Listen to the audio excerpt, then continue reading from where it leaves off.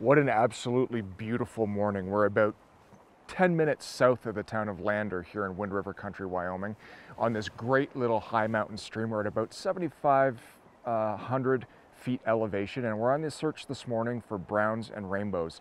I'm going to start with a dry fly with a Perdigon uh, nymph underneath uh, and see what happens on the day. It's first thing in the morning, the sun is high, it is um, getting warmer, and uh, today should be a fantastic day.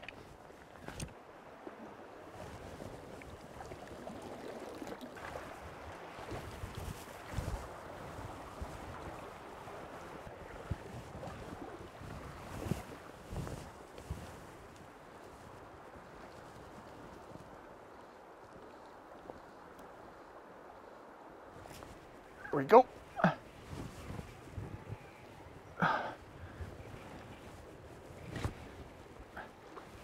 Whitefish.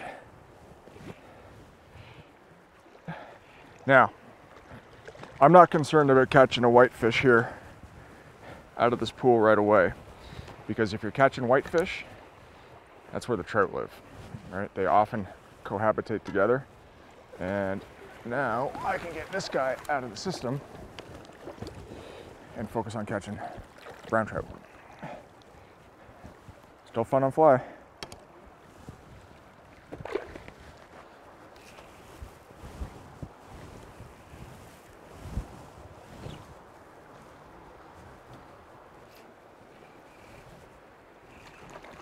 All right, little rainbow. Right at the tail of this little pool. Whoa! Little water walker. Took the nymph right away, right at the tail. Now these are barbless, so you need to keep tight with them all the time. The water's freezing cold. It got down to about 39 degrees last night, just above freezing. There you go. Great fish to start the day. Okay, let him go. He's gone. This stream is much more wide open than the stream yesterday, making stealth even more important. The stream yesterday had mostly plunge pools that were very noisy. This noise allows you to get closer to the fish. Today, however, we have slower moving water with little sound. I have to make sure I don't make any noise or get too close. Fish have excellent hearing and sight. Notice I stay far back and cast to my target. There he is. All right. So this one took the nymph. I think this is the fish that came up and tried to eat the dry, missed it, and then a couple casts later came back and ate the nymph.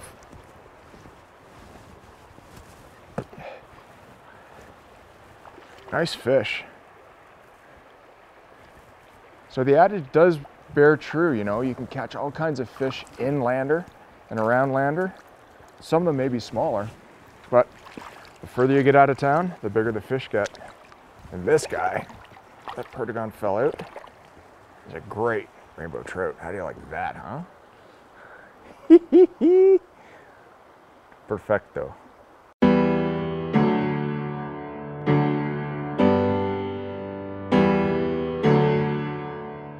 All right, so here's the fly I'm using. It's a uh, it's a George Hunker special. It's a tungsten bead-headed nymph, Perdigon nymph, uh, with a red collar. Looks like it's got some copper um, or brownish uh, thread around the shank of the hook. Uh, barbless, and uh, so far, it's doing fantastic. The equipment used in this episode are 9 foot 4 weights and 9 foot 5 weight rods and reels. Softer rods such as medium bend are better suited for small streams. There's no need for long casts. The reels can be click and pawl. No need for heavy duty drag systems as the reel is there mostly as a line holder. The majority of fish are brought in by stripping the line.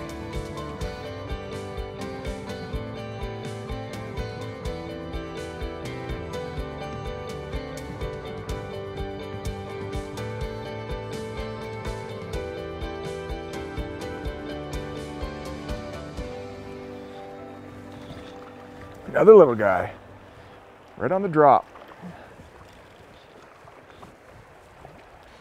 Little brown trout, nice. Rainbows and browns.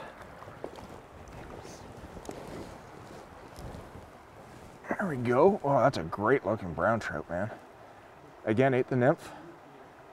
All right, let's get this little dude unbuttoned. That fly just falls out, he's gone. Now, in talking with local guide George Hunker here, who uh, fishes out of Lander, um, he's the one that turned me onto this little river. And uh, he said that you catch a lot of little fish, which is great fun on dries and, and with the dry dropper. He said, but you do have a chance at catching a big one, like a 20 inch brown trout or a 20 inch rainbow. That's what we're hoping for today, but if it doesn't come to fruition, it doesn't come to fruition. We're still having a blast.